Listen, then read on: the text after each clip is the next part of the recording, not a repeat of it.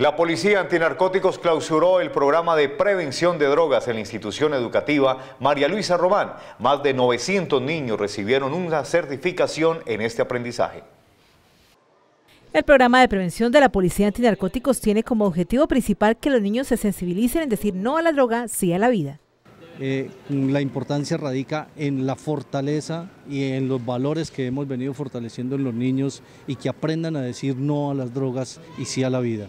Ese eh, básicamente es el objetivo que estamos buscando, que nuestros niños eh, eh, estén y sepan marcar una línea en donde identifiquen todos los factores de amenaza y nos den unas alertas tempranas que nos permitan identificar en qué colegios podrían estarse distribuyendo drogas, podrían estarse contaminando en los niños. Igualmente, pues estamos luchando contra la violencia al interior de los, de los, de los colegios y al interior de los hogares, por eso capacitamos a los niños para que nos informen oportunamente, le informen a las directivas, eh, a sus docentes o a, o a cualquier policía eh, de estos factores de amenaza a toda nuestra niñez. Son ya, son ya 900 niños que eh, capacitamos el día de hoy acá que graduamos, pero aquí en Tuluá hemos priorizado el trabajo de prevención al consumo al tráfico y a la producción de sustancias estupefacientes porque esta es nuestra casa.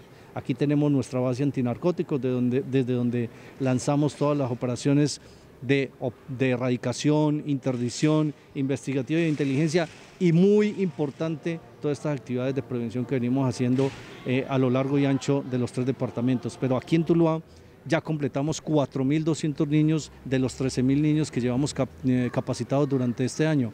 Eso indica la importancia de esta ciudad para nosotros. Hemos capacitado a niños, niñas y adolescentes y a, otras personas, padres de familia, ya casi 17 mil personas en Tuluá adicionales.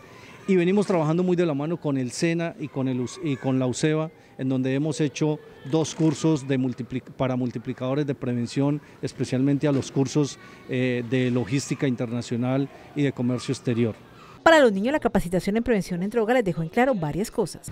Aprendí que no debemos de aceptar las drogas porque las drogas son muy malas para nuestro organismo. Em, también si alguien nos ofrece drogas debemos decir no y alejarnos.